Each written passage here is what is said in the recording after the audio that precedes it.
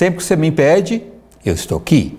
Olha, hoje eu quero falar sobre o o, o óleo do cravo, que existe até o óleo pronto já do cravo. Isso aqui é um olhinho de cravo, ó, tá?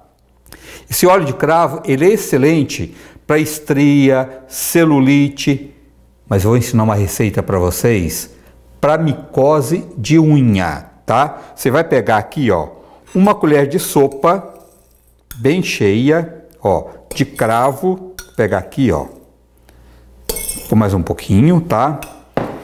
E eu vou colocar aqui, ó. Só que você vai colocar um vidro com tampa aí na sua casa, tá? Eu vou colocar um copo de vinagre de maçã, ó. Vou deixar aqui, ó. Que vai dar mais ou menos quase isso aqui cheio, ó. Para dar um copo. Um copo americano, tá, gente, ó. Já praticamente deu, ó. Deu tá? Aí na sua casa você pode medir, tá? Aí você vai tampar isso aqui, espera uma semana, depois você vai passar essa solução na micose. Pode usar também para frieiras, tá? Quem tiver com frieiras também pode usar e é excelente também para picada de insetos, tá?